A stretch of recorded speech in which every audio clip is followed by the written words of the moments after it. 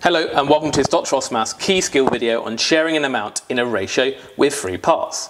Here's the question. Libby, Mike and Chibokum share £96 in the ratio 3 to 2 to 7. Find how much money each of them will receive.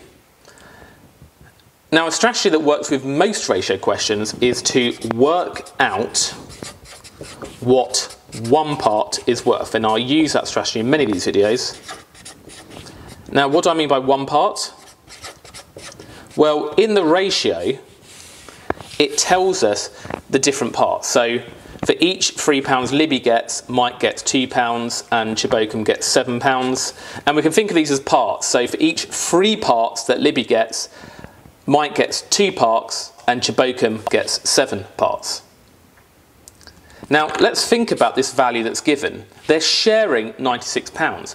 What does the £96 represent this situation? It represents the total amount they have. And therefore, we need to think about the total number of parts we have. So the total number of parts we have, 3 plus 2 plus 7, is 12. So we have 12 parts in total in the ratio, and that represents that total amount of £96. And then as per my advice, we work out what one part is worth.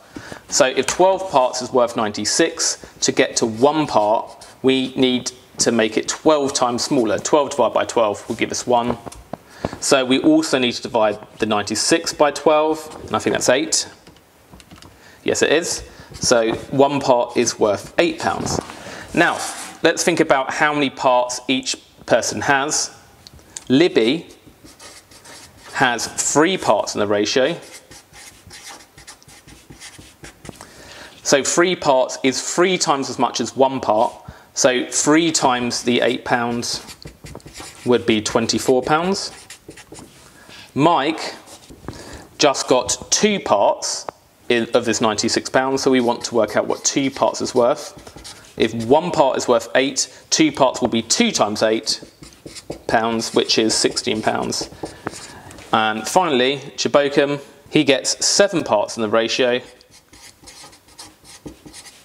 so you want seven times the eight pounds, and that would be 56 pounds. So those are the final amounts. And if we check to see whether these add up to 96 pounds that they were sharing, 24 plus 16 plus 56 is 96, which is the correct total amount.